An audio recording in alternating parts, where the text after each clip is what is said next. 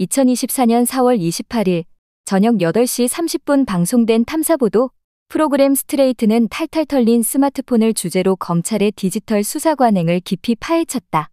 이번 방송은 특히 검찰의 디지털 네트워크인 디넷 디낫을 통한 정보관리와 개인정보 침해 가능성에 초점을 맞췄다.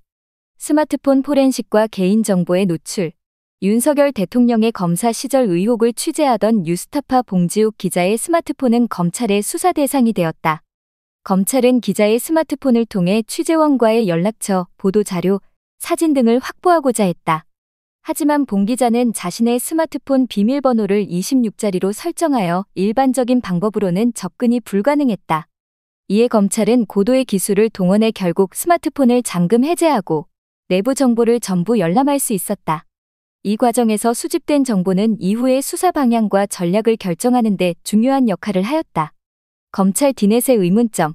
압수된 정보는 검찰의 디지털 수사망인 디넷에 저장되며 이곳에 저장된 정보는 수사 목적 외에도 다양하게 활용될 수 있는 여지가 있다. 최근에는 뉴스버스 이진동 기자의 스마트폰에서 48.8GB에 달하는 대량의 데이터가 복제된 사례가 발견되었다. 이 사례는 수사에 필요한 정보를 넘어 개인의 사생활에 대한 정보까지 무분별하게 수집하고 있는 현실을 드러냈다. 검찰은 재판에서 자신들의 수사가 정당했음을 증명하기 위해 정보를 복제했다고 설명했지만 이러한 행위는 법적, 도덕적 논란을 불러일으키고 있다. 정보의 시대, 개인정보 보호는 가능한가? 디지털 정보의 중요성이 점점 더 커지는 현대 사회에서 개인정보의 보호는 매우 중요한 이슈로 부상하고 있다.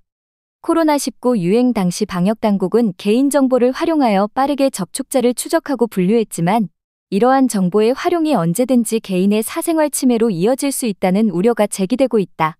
또한 AI 기술의 발전과 더불어 개인정보가 새로운 수익 창출의 수단으로 활용되는 경우가 빈번해지고 있어 이에 대한 적절한 규제와 관리 방안 마련이 시급하다.